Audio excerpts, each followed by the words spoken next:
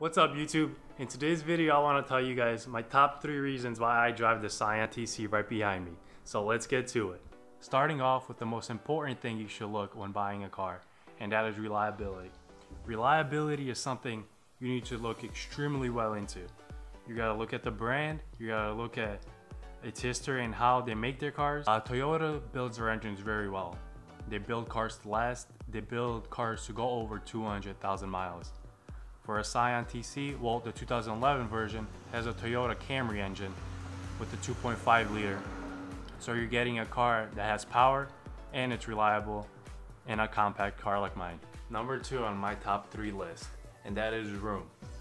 Me, I'm 6'3", so I need a car that has leg room when I'm driving, and I'm not just sitting like this on the steering wheel like a Honda Civic would, because I've driven a Honda Civic and for real, I have them see all the way back and I barely have any room in there.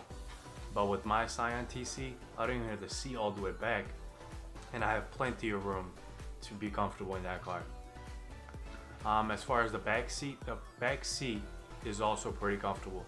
I've sat in there a couple times while having somebody drive me or been in my friend's Scion TC and had to sit in the back. It's pretty comfortable now. It's definitely not like the front two seats, but it gets the job done. Another thing, the trunk space. The trunk space on this car is huge.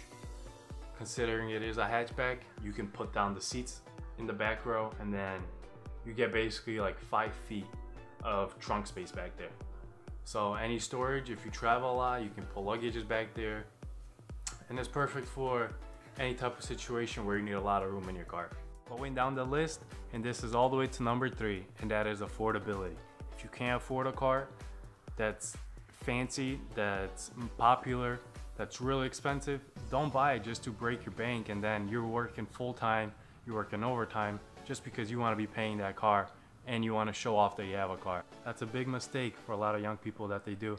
Older people do that too, but you mostly see young people just to show off, just to show that their friends that they got a really expensive or popular car that everybody wants. You need to be able to maintain your car regarding oil changes, brake changes, and all that good stuff. For a regular oil change on my car, it cost me about 34 bucks fully synthetic.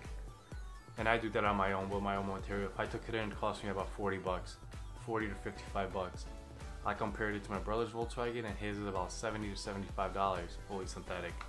So just a little comparison of a Volkswagen car, a German car, and a Japanese car, Scion TC. The next thing is low insurance. Now this does vary by states and this does vary by your personal driving history. For me, I think I pay close to 60 bucks a month for my Scion TC and that's fully covered. Another thing you want to consider when looking to buy these cars is modifications. You want to modify this car or do you want to keep it stock? For example, my exhaust. I have a two Tsudo exhaust and it costs me around $290 for a full kit, for a full exhaust system. Um, let's say for Volkswagen, my friend GT, I did some research online, and an average um, exhaust for Volkswagen GTI is from 300, no, from 500 like 50 bucks to 1,300. Like that's a huge, huge gap regarding Scion. I mean, comparing Scion TCs to a Volkswagen. So there you guys go. Those are my top three reasons why I chose a Scion TC, starting with reliability, the space inside the car, and affordability.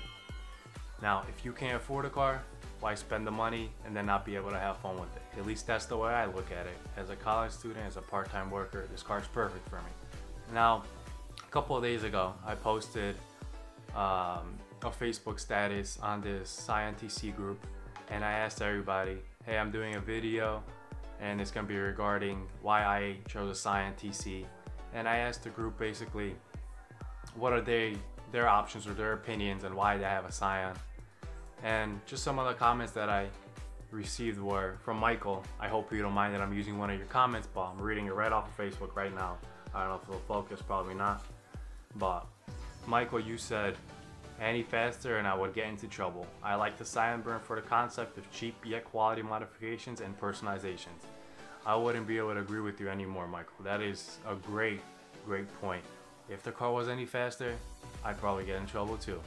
I love the 185 horsepower and maybe When I feel more comfortable, I will get something faster. I don't know, who knows? The money's gotta come first. And maybe in the comments below, you guys can let me know what your reasons are why you drive your specific car. It doesn't have to be a science, so any car that you have, any car that you enjoy driving, that you own, let me know in the comments below what your reasons are.